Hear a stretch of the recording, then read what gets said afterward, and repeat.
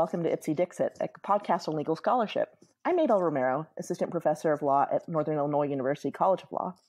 My guests are Professor Valena Beety, Professor of Law at Arizona, Uni- Arizona State University Sandra Day O'Connor College of Law, and Jennifer D. Oliva, Associate Professor at Seton Hall University School of Law. And today we're going to be discussing their new paper, Regulating Bite Mark Evidence Lesbian Vampires and Other Myths of Forensic Odontology, forthcoming in the Washington Law Review. So this is a third in the series, right? Um, we had Discovering Forensic Fraud, which is the first, and Evidence on Fire, arson related myths. Um, why are we looking in this paper at lesbian vampires and other myths of forensic odontology, you? Okay, I'm gonna I'm gonna give you the answer to this, Maybell, if you're ready for it. So Professor Beety represented um, the women that we use as sort of like the case study for our lesbian vampires in this paper. And um, she and I started talking about this case, and she started telling me about the bite mark evidence that came in and why they were wrongfully convicted. And I, I will note that um, she not only uh, very competently represented them, but they were ultimately um, exonerated. Um, and I was outraged as an evidence professor about this and said that none of this evidence would ever come in in a civil case. Mm-hmm. Uh, and Professor Beety uh, looked at me and said, well, it's most certainly came in and they spent uh, quite some time in prison uh, based on this um, information. So um, that's sort of what provoked us.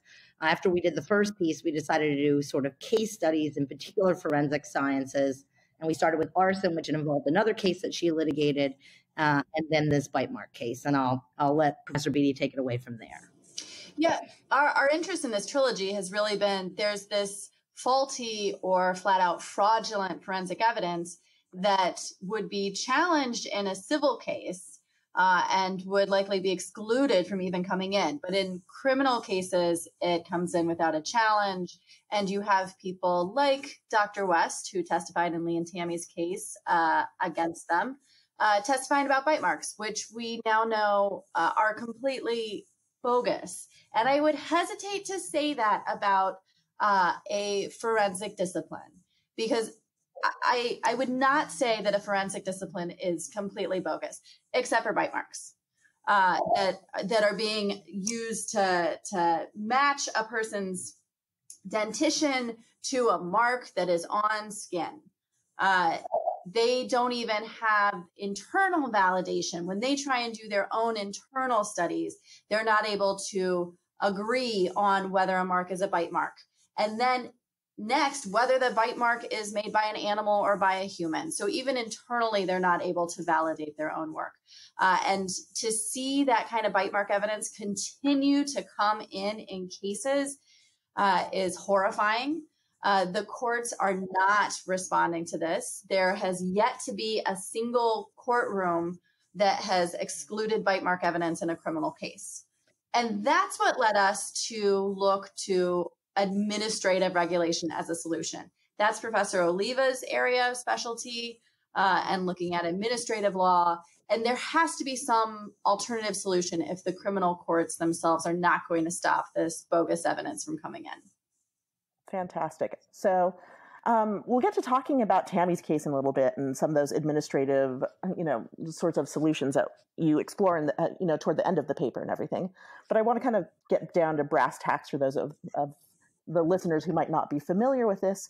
Um, how is it that this sort of stuff is getting admitted in you know criminal cases where you've got you know jurors who are made up of you know just random normal people who might not have legal training um, you know it's getting admitted in those sorts of cases where these jurors are expected to sift through good science and junk science but then it's not getting admitted in civil cases. Why is there this big difference? Well, I mean, I, to to add to that, um, you know, forensic odontology does have a place in the law of evidence, and its place been mm-hmm. since the time of Paul Revere, America's first dentist. Um, it was to identify uh, bodies right after death or a mass disaster, right? So you actually have the individual, right, the, the body, uh, and we could get their teeth, uh, and we had their actual teeth and their body, and um, those uh, kinds of identifications are fairly uh, statistically significant. It's now evolved and valid. I, just quickly, I mean that is a valid use of um, of forensic odontology is to identify a body by identifying the teeth. That's right. So you're not repudiating the entire field of forensic dentistry or anything like that. And we want to emphasize that. And, and that's sort of been the history here that's gone back a long time. And those IDs are, are quite valid and reliable, Professor Beety said. However, um, some folks started to think that what they could do was identify bite marks on human skin.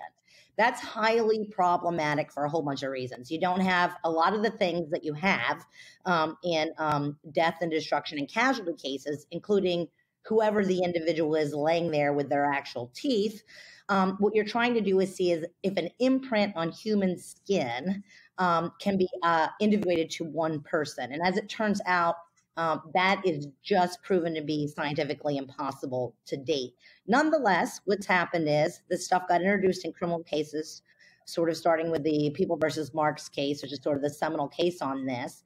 Um, once it came in, and that was a very highly unusual case, as we explain, uh, where the detention, the dentition was on a nose. And um, since that time, um, the criminal courts, as they tend to do, and this is a theme that runs through all three papers in our trilogy, simply um, continues to admit it because another court did or took judicial notice of the fact that this should be admissible and doesn't even bother to do a Daubert analysis and it's not challenged by uh, defense attorneys. So, what's involved in that Daubert analysis? I mean, that's what you usually see happening in civil cases, right? Some sort of extensive analysis to see, okay, is this good science? Is this junk science? Does it meet a certain standard? Um, and it sounds like that's not happening in these criminal cases. No, there's uh, infrequently uh, or almost never a Daubert challenge, and i am going to turn over to Professor Beety in a minute because what provoked the entire trilogy was her explaining this to me. Um, we routinely challenge virtually everything we can in civil law when it involves expert evidence, as you know, in toxic tort cases and products liability cases. We have all of this pretrial vetting of experts, uh, and we go hard. And she said, very rarely is there ever a Daubert hearing. Very rarely those standards ever applied. So I'm going to let her talk about um, what happens in criminal law and why uh, these evidentiary issues are often litigated exclusively on post conviction and habeas. Right. So generally, there's not as much funding that's available in a criminal case as in a civil case. So you have a criminal defense attorney who uh, asks for funds from the court, may be able to bring in an expert uh, but it's not going to be nearly as extensive as in civil cases. And then on the part of the prosecution, the prosecution has uh, witnesses that they go to regularly and who they're used to working with, and the court generally accepts. I mean, the courts are seen as punting this to the jury, saying, We're going to let this in, and then we'll let the jury decide how reliable it is and how much weight to be given to this. And with bite mark evidence in particular, there's this horrible circular uh, continuation of cases where um, actually is West Virginia, uh, our highest court, accepted bite mark evidence and judicial notice of bite mark evidence, which meant it could just automatically come in. Uh, and they, with like no question right, at all, just like just, just automatically comes in. comes in. And they based oh, that decision on a wrongful conviction in Wisconsin. At the time, uh, it wasn't known that it was a wrongful conviction, but literally their case that they turned to to say, you know what, this looks valid. We're just going to give judicial notice and accept it every time across the state of West Virginia was a wrongful conviction case. And then you saw courts nationally relying on the West Virginia case to say, well, we'll also take judicial notice. We'll just let it in all the time. So this is like a self-propagating disaster that just keeps spreading throughout exactly. the country. Exactly. And frankly, I don't know that it's going to stop until we are uh, self-policing, either within um, dentistry and among forensic odontologists, or prosecutors not bringing in this evidence anymore so you know this junk science you know when we're talking about bite mark evidence it sounds like a disaster in and of itself but has it been used in proportionate fashion against defendants of all backgrounds or have certain groups been targeted in using this sort of bite mark evidence? So it's been a particular fit for being used against um, sexual minorities so the lgbtq community in particular. And we saw um, that most viscerally, and we highlighted it uh, in our article in a case in West Virginia, which is Lee Stubbs and Tammy Vance, uh, and the the tropes um, the negative stereotypes uh, connecting violent and vicious uh, lesbians to bite marks, that bite marks are a sign of a homosexual assault. So we've seen this against quote unquote killer lesbians, um, but you also see it against other members of the queer community as well.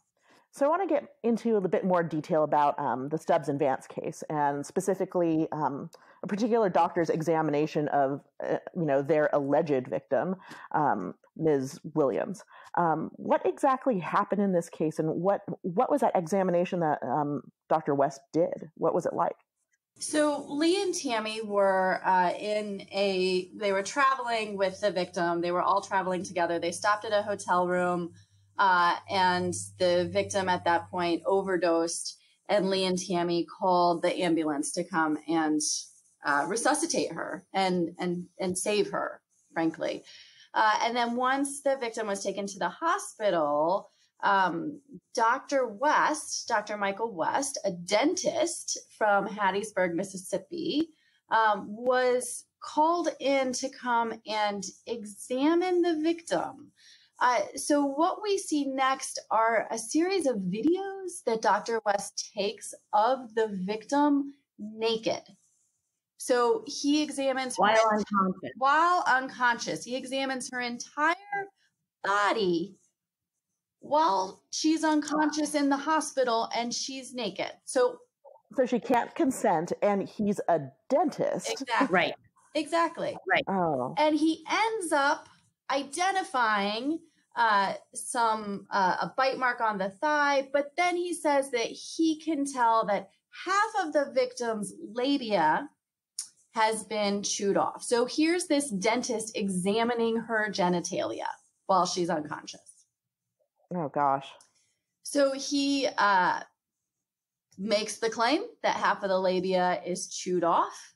Uh, and Lee and Tammy, their uh, dental molds are taken and ultimately, they are charged with assault and assault of the victim based on his findings. I'm just horrified at just the number of levels of wrong that are going on here.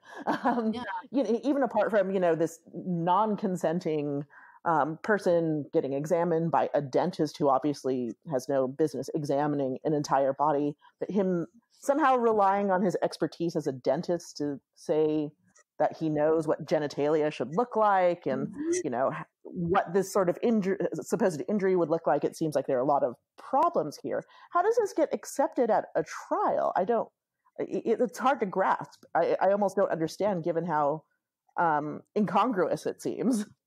Yeah, and the def- the defense tried to bring up there was no blood, like there's no sign here of any type of injury, uh, and yet his testimony was able to come in. Um, Professor Oliva, were you going to say something? Yeah, I mean, it's worse than that. It's not only that the evidence came in and he was allowed to uh, testify, they had, uh, you know, uh, experts testify for the prosecution, uh, opining on their sex, these two women's sexuality. Uh, they brought in this sort of uh, discriminatory evidence about that, talking about how violent quote unquote lesbian assaults are.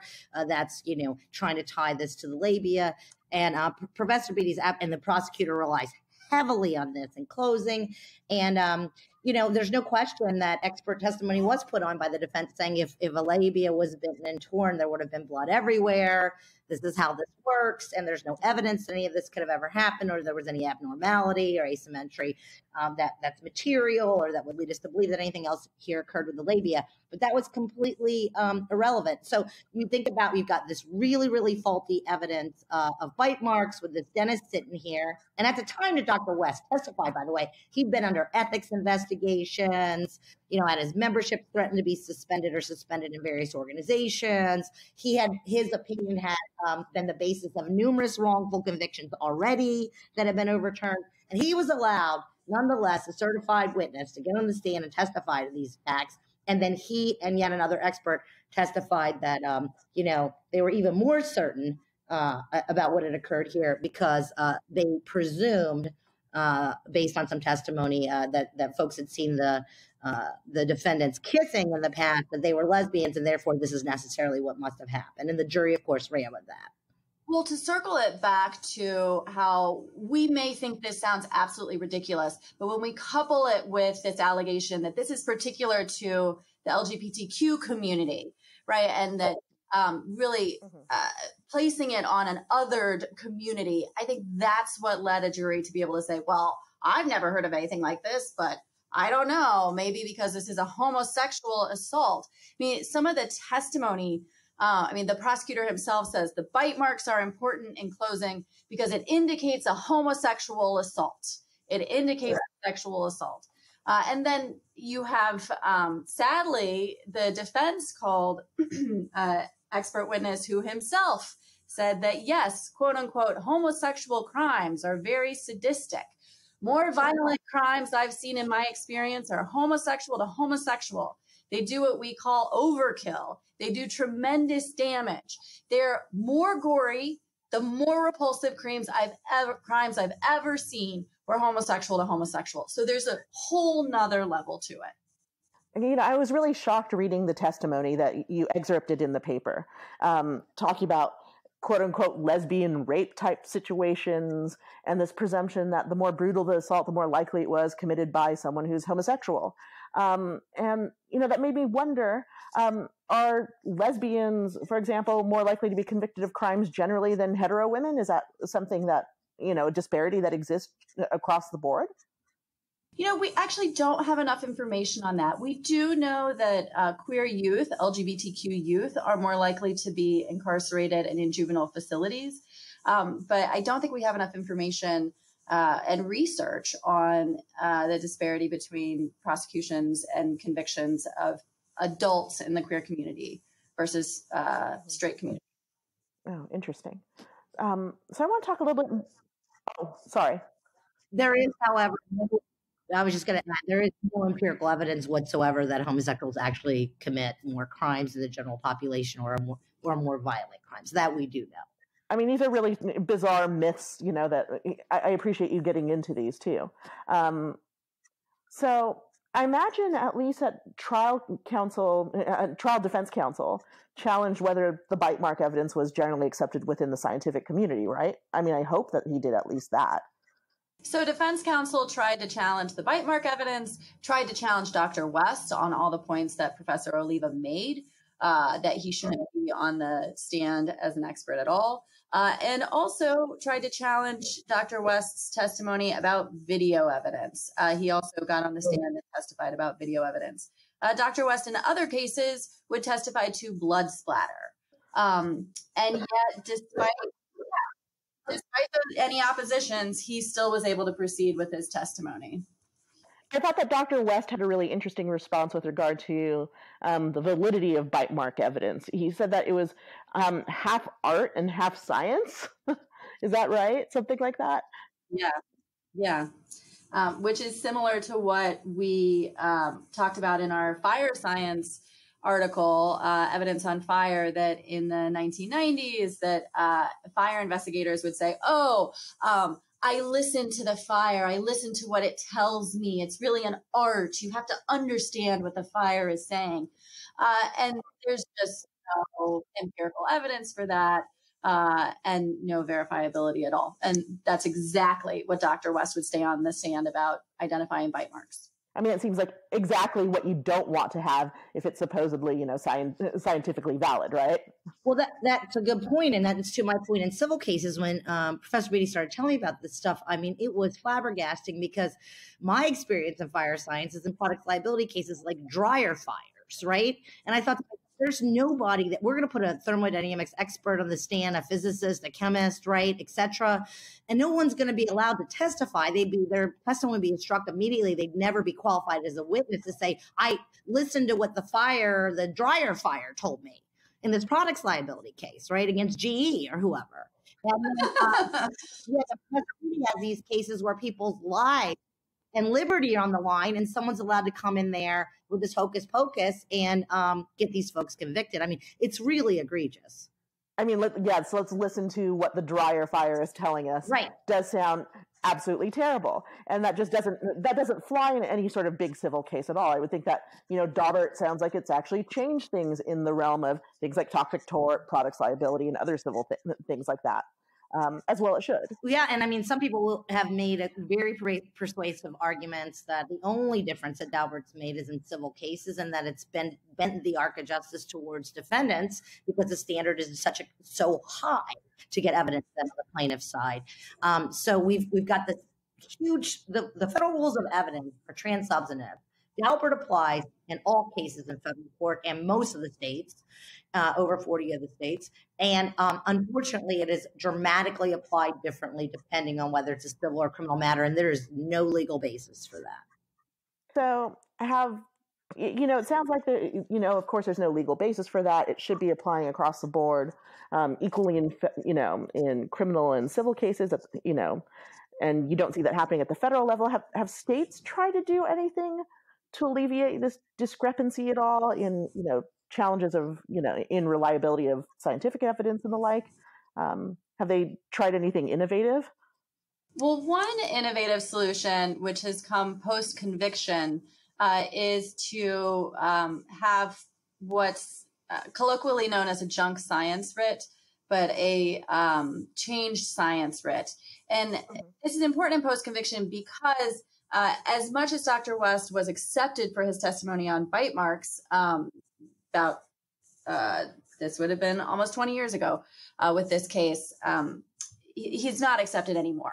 So enough time has passed, enough has been learned about bite mark evidence and the unreliability of the field in general that uh, a defendant could actually challenge their conviction and say, my conviction was based on this faulty, fraudulent information.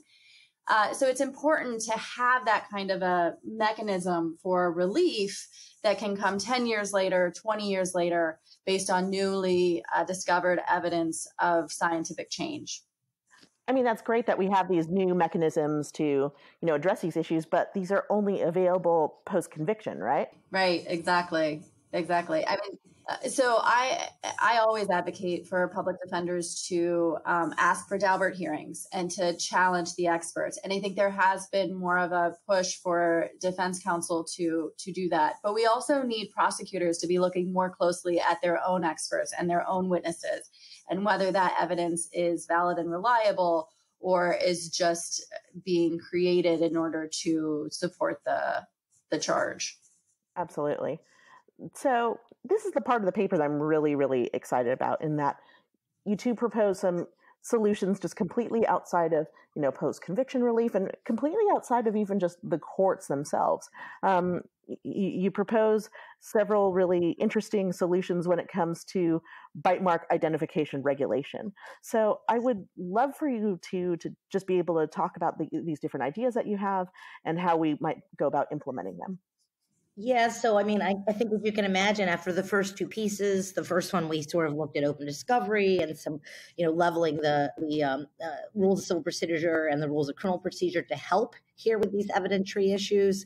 And the second piece, we, um, you know, sort of uh, beg the courts to start applying Daubert correctly in criminal cases that involve arson evidence and to hold these experts to the same standards they did in civil cases and sort of try to invoke some some shaming. And we talked about also how to make um, using linear sequential unmasking and other techniques to make the criminal system less biased and the evidence more reliable. And I think that by the last piece, or at least I'll speak for myself, we sort of thought we better start looking extrajudicially at solutions because um, it just doesn't see, people have been writing about this for a long time and it seems like it's being heard. And it was mm-hmm. lucky for me because these are prof- dentists are professional licensees. And I'm a healthcare lawyer, and I thought, well, we've got all kinds of solutions with how we deal with misconduct for professional licensees, right? So one of the things that we ended up proposing in this paper that I'll talk about, and then let Professor Beety talk about the, the boards that oversee this on the national level, is state boards of dental practice exist in every jurisdiction in the United States, and they're responsible for the ethical and standard of care conduct of their licensees. So all of the forensic odontologists that are testifying, including Dr. West, are licensed dentists, and they spend most of their time practicing regular old, you know, shooting up with Novocaine, right, and pulling your teeth and doing caps. And the bottom line at the end of the day is that the states do have jurisdiction over them. and taking a lesson from the other professional licensing boards, um, medicine in particular, and we gave some examples. Um, you know, they can regulate the test, the ethical testimony of their licensees. And if you look at uh, what the American Dental Association says and what the boards say in their broad enabling language in their statutes, they have the authority to regulate this and um, discipline for, uh, dentists for presenting testimony that is scientifically unreliable. Um, that is that does not fall within the board's ethical or their professional licensing regulations that these boards control. So one of the did in the paper was uh, uh, board board to start writing um, this sort of um, testimony and conduct and holding their licenses accountable. I, yeah, that's you know I, I learned a lot about the you know the different organizations that are you know really charged with looking over forensic odontologists. I didn't even know that these boards existed, um, like the American Board of Forensic Odontologists and, and the like, um, the American Academy of Forensic Science. Um, have they not really done much of anything thus far to uh, control stuff like that? I mean, I'm surprised that it sounds like there just aren't much in the way of standards yet. Right. So this is part of the reason that um, Professor Oliva is looking at dental boards is because the ABFO, the um, American Board of Forensic Odontology, is not self-policing, and in fact, they're pushing back on any criticism of bite mark evidence. So when the Texas Forensic Science Commission um, was doing a report on the validity of bite mark evidence, uh, ABFO members actually represented to the commission that if there was a moratorium on bite mark comparison, that that would quote unquote hurt children. According to the ABFO, bite mark victims are frequently very young. Uh, so they're really, they've gone out of their way um, to push back on criticisms of bite mark evidence. Uh, sadly, the mother organization, um, the AAFS, Forensic Sciences, has continued to um, validate the ABFO organization. So they've continued to have them be a member organization uh, of the American Association of Forensic Sciences, uh, even though there's been tremendous um, undermining that uh, bite mark should even be considered a, a, forensic discipline to be included in uh, the American Association of Forensic Sciences.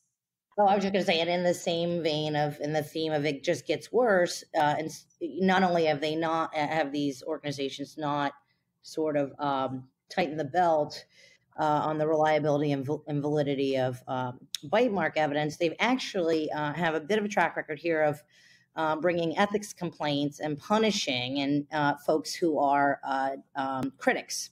so scientists and dentists that have criticized them have been far more subject right, to their disciplinary procedures and secret ethics hearings to smear these folks who've spoken out against um, the bite mark evidence uh, with uh, scientific studies to support them, um, then they have to uh, actually regulate their own uh, field. So again, the story unfortunately um, is is worse than doing nothing. They've been proactive in attacking critics wow, they sound incredibly punitive and self-serving and you know just completely unreliable when it comes to actually setting any standards if not like you just said um, worse than just neutral just like incredibly negative.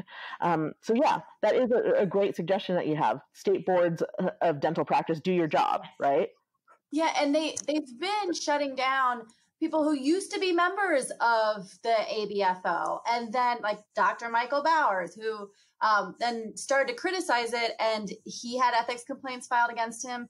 The Bushes, um, Peter and Mary Bush, who are um, both uh, professors and dentists, and did research uh, on whether they could recreate what a bite mark would look like uh, from the same mold on different skin, right? Because that could create reliability for their field. And when it didn't, they were also um, given tremendous pushback for their work. Yeah, most recently, Dr. Ian Pretty, we don't know all the details about um, the issues and what's gone on with him because they're confidential, which we complain about in the paper. Um, but he provided key testimony to the Texas Commission that investigated the David Chain case, and um, you know was anti bite mark reliability. And again, then we see an ethics complaint and activities directed against him. So this has been an ongoing pattern. It's not a one off situation. Well, I want to return to um, Tammy's case real quick, and um, and Dr. Michael West. Um, does he still advocate uh, for bite mark evidence at all? Does he still believe in this even? He does not. Uh, so in post conviction, so we got uh, Lee and Tammy's case. Uh, they'd been incarcerated for a number of years, and they ultimately were exonerated after 10 years in prison. So they served 10 years. Uh, but in the course of post conviction work, um, we were able to depose uh, Dr. West and do a deposition, which again is not something that's generally available in criminal trials. So in post conviction, we were able to do this. And he, um, you know, very cavalierly said, well, just let him go. Just let him go. I don't believe in this evidence anymore. I don't believe that bite mark evidence is reliable anymore. So just let him out. And of course, it's not that simple, sadly. Yeah, it's not that easy, and it would have been nice had he realized that you know some years prior, right? Um, wow, that's incredible. Um, but happily, um, they were able to get out, and they've been released, right? Yes, yes, and they've both been able to to move on with their lives and put this behind them, um, which uh, is hopefully a, an option available for other people who have been wrongfully convicted with bite mark evidence as well, because this evidence has been admitted in courts nationally. As I said before, there's still not a single court that has denied admissibility of bite mark evidence at a criminal trial and that's why I love this paper so much. Just looking at other solutions, even uh, you know extrajudicially, trying to see what we can import from the civil system into the criminal, and looking at what exactly we can do with regard to outside you know governing boards and the like to try to figure out how to avoid these problems. Um, not post conviction, but you know getting these sorts of cases charged and this sort of evidence used in the first place. This is fantastic work, you two. Thank you. Thank you. well, thank you both for joining me today. I, I, appreciate it, and everyone should go and read this one. You know, it's up on SSRN, I believe, right? Um, yeah. But you know, you're going to see the final coming out very shortly, I believe, right? Yes, Fan. it's going to be. It's in the actual December issue of the Washington Law, December 2019 issue of the Washington Law Review, which should be up online um, anytime soon. So that's absolutely right. But we have the pub proof uh, up on SSRN and uh, would love to hear folks' uh, feedback. Fantastic. Well, thank you both for joining me. Um, look, looking forward to seeing what comes of this and reading more of your work in future. Thank you, Maybell.